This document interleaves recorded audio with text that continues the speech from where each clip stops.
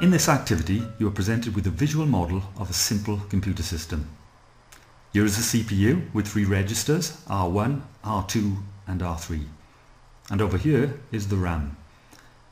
The memory addresses A1 to A5 are used to store data. The instructions that make up your program will be stored in this area of RAM. The sheet of notepaper here with target RAM written at the top shows you what your challenge is.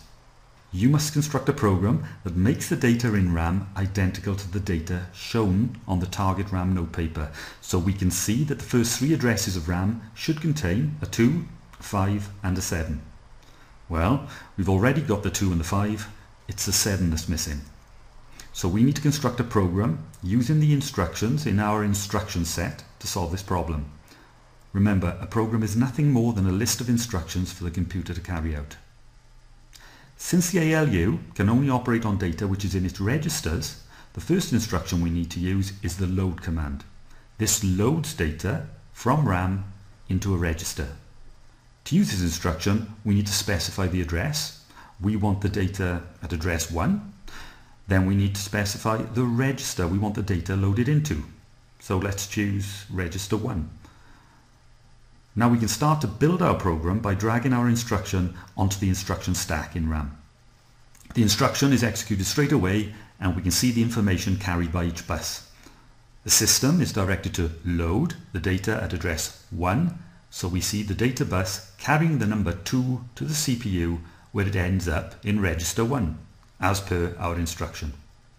Next we want to issue another load instruction but this time we want the data at address 2 to be loaded into register 2. Now we've made the instruction, we can drop it onto the instruction stack. So we're saying to load the data at address 2, which is the number 5, into register 2. Now we have some data in the registers, the ALU is able to operate on it. Remember, the ALU performs arithmetic and logic operations on data in the register. So we can now issue this command, which instructs the ALU to add the contents of register 1 to register 2 and store the result in register 3.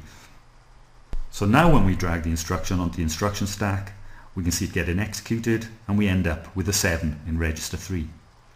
The last command we need to issue to complete the challenge is the store command. The store command allows us to store the contents of register 3 into a memory address in RAM. For our problem we need to select address 3.